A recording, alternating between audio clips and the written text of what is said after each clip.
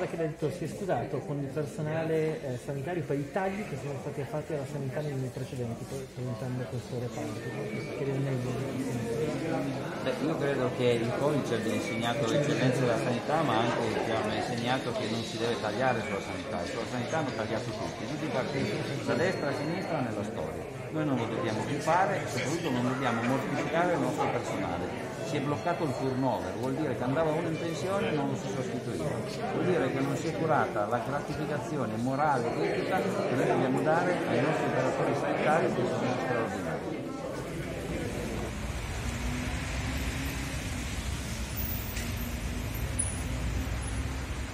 Beh, la carenza di dosi sicuramente incide, noi in questo momento stiamo riuscendo a compensare, quindi continuiamo a fare 38.000 dosi al giorno, noi domani mattina sarò da girare figliuolo proprio a chiedere di più, perché più dosi abbiamo più Piemonte vaccina.